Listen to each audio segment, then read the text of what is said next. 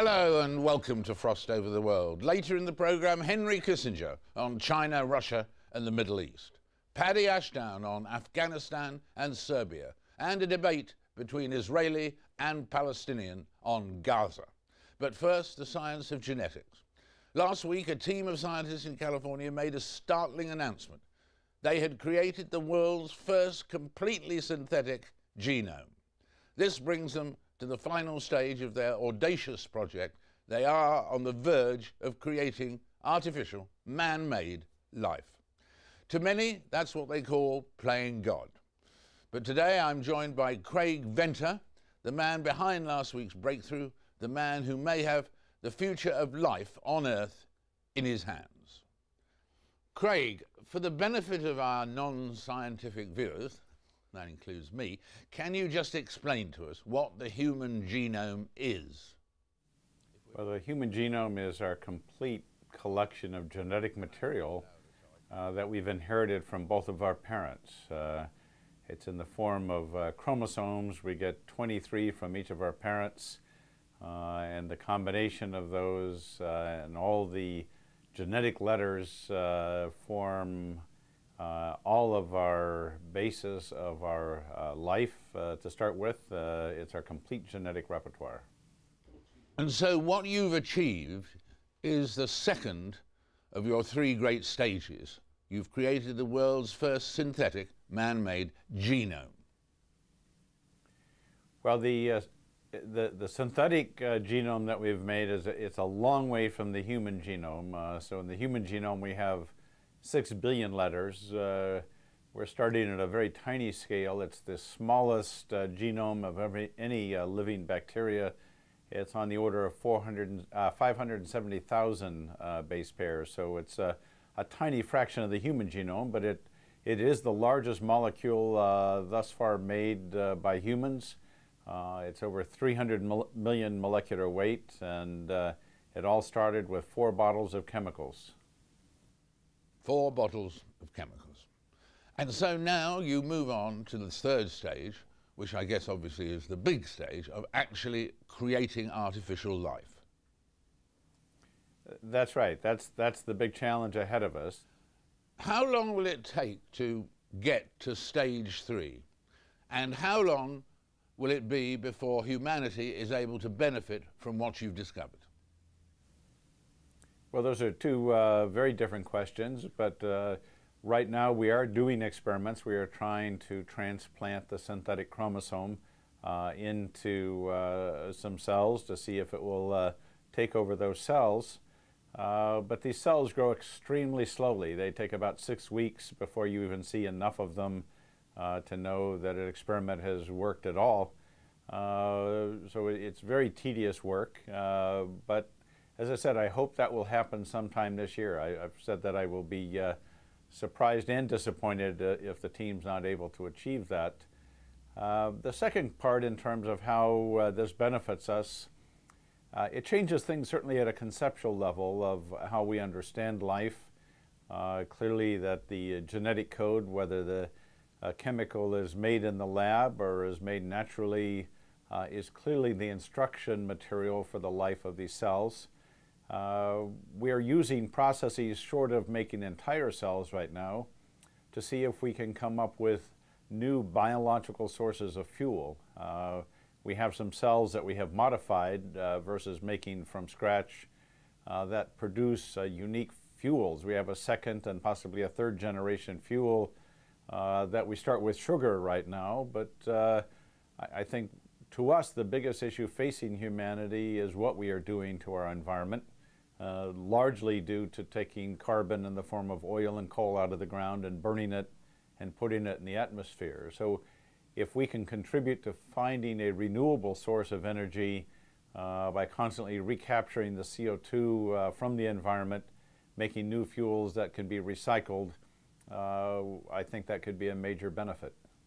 Could you really remove the threat of carbon dioxide in particular and global warming in general? Could you do that?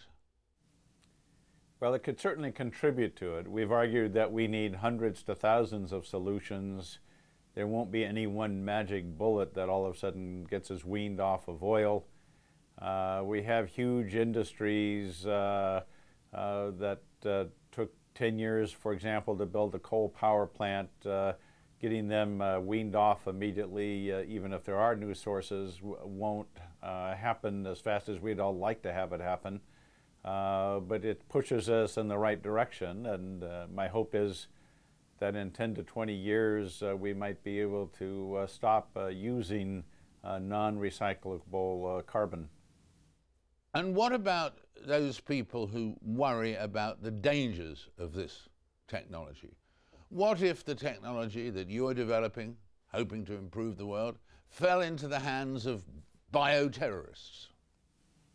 Well, the technology, and, and, by the way, it is something we're very concerned with. We asked some of these ethical questions before we ever did our first experiment. Uh, I think it's one of the first times in history where the complete ethical and uh, uh, practical review took place before we uh, undertook the first uh, steps in the lab. We've been talking about this work now for over a, a decade, trying to have a public discussion. Uh, the U.S. government has reviewed some of this work at the highest levels. There's committees to deal with dual use research now in the U.S. Th these are concerns because uh, up until recently, as you know, we've had uh, the U.S. government and the former Soviet Union funding biological warfare research.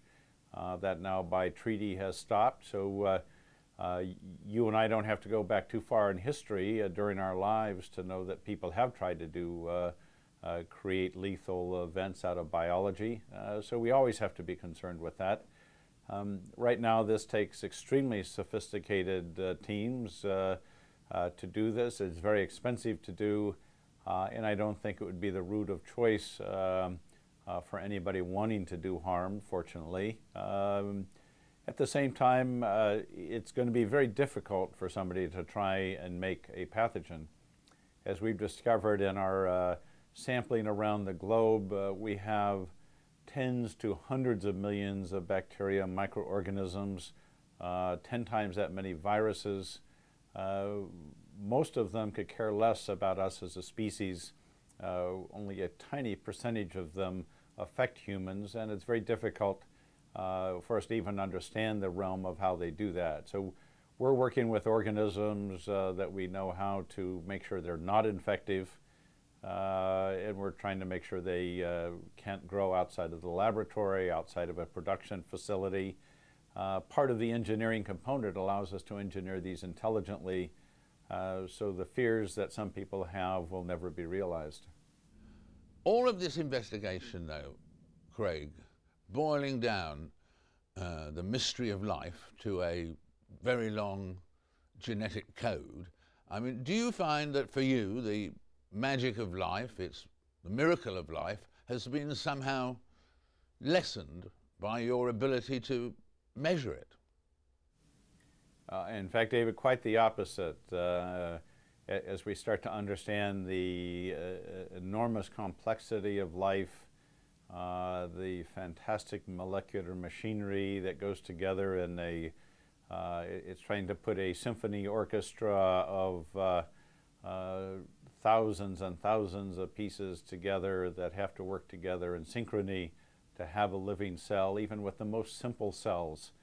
Uh, when we go to our own uh, bodies and our own genomes, we have 100 trillion cells uh, in our bodies, all using this same uh, genetic code, uh, expanding to form tissues through stem cells. Uh, I think anybody that really looks into it will have far more respect for the diversity of life, for the miracle of life, if you want to use that term, uh, than people who just uh, view us as single entities uh, made by a mystery component. Thank you very much, Craig. In a moment, what next for the Palestinians of Gaza? That's after this short break.